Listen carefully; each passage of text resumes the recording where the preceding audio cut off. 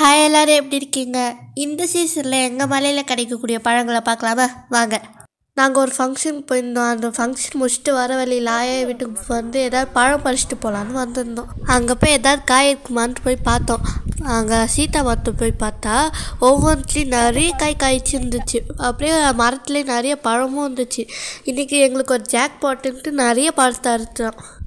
அந்த பழத்தெல்லாம் அறுத்து அறுத்து நானும் என் கசினும் சாப்பிட்டுட்டு இருந்தோம். செம்ம டேஸ்டான பழம் அதெல்லாம்.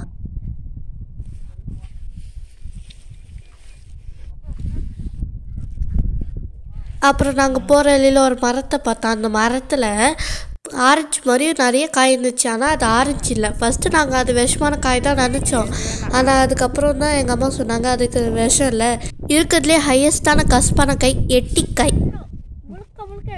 விஷம்லாம் கிடையாது. கசப்பு. இதோட பழத்தெல்லாம் பார்த்தீங்கன்னா ஆரஞ்சு கலரில் ஆரஞ்சு மாதிரியே இருக்கும். இந்த பழம் பழுத்துட்டு அப்புறம் எப்படி இருக்குன்னு உங்களுக்கு வேறு வீடியோவில் காட்டுறேன்.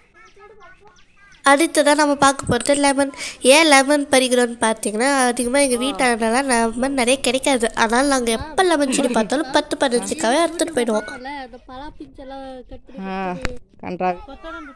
அடுத்து நாங்கள் போன இடம் என்னன்னா மணத்தக்காளி பழத்தை அறுக்கிறதுக்கு போயிருந்தோம்.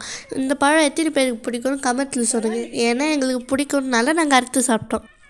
சரி அடுத்தது எங்கடா போகலான்னு திரும்பி பார்த்தா இதோ இந்த ஸ்பாட் எஸ் மாங்காய் தான் அறுத்தது. நாங்கள் அங்கே போய் மாங்காவை பறிச்சுட்டு இருக்கும்போது பால் எங்கள் ட்ரெஸ்ஸில் படாமல் இருக்கிறதுக்கு பறிச்சு பறிச்சு கீழே வச்சுட்டு இருந்தோம்.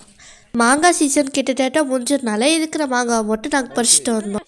பறிச்சுக்கிட்டே இருக்கும்போது என்னோட சிஸ்டர் இருந்துட்டு பறித்த மாங்காயில் அவளோட க்ரியேட்டிவிட்டியை காட்டினா. அது என்னன்னு பார்த்தீங்கன்னா நம்ம சேனல் நேம் அப்படியே நீங்கள் மறக்காமல் தமிழ் ட்ரிப் சேனலுக்கு சப்ஸ்கிரைப் பண்ணுங்க. நாங்கள் பறிச்சுட்டு போது ஒரு பழத்தை பறித்தோம் அதை அப்படியே தாத்தாக்கிட்ட கொடுத்து அறுத்து அவர் அறுத்து தந்தாரா? அந்த மாங்காய் கொஞ்சம் புளிப்பு ஆனால் சூப்பரான டேஸ்ட்டு சரி அவ்வளோதான் இது வரைக்கும் பறித்த பழத்தெல்லாம் மூட்டை கட்டிட்டு வீட்டுக்கு கிளம்பலான்னு பார்த்தா போகிற வழியில் ஒரு காடு. ஒரு காடுன்னு சொல்ல முடியாது. கொஞ்சம் வெட்ட வெளியில். அப்போ எங்களுக்கு இந்த பழம்லாம் கிடச்சிது. என்ன பழம் பார்த்தீங்கன்னா இது இது கலாக்கா. எங்கள் ஊரில் இது கிழக்கான்னு தான் சொல்லுவாங்க.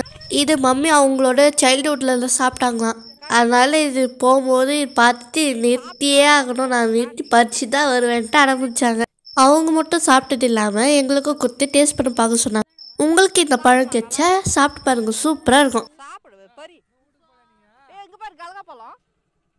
அப்புறம் இந்த வீடியோ உங்களுக்கு பிடிச்சிருந்தா லைக் பண்ணுங்கள் சப்ஸ்கிரைப் பண்ணுங்கள் மறக்காம கமெண்ட் பண்ணுங்கள் பாய் டிஃப்ரெண்ட்டான டேஸ்ட் வச்சு நல்லா இருக்கும்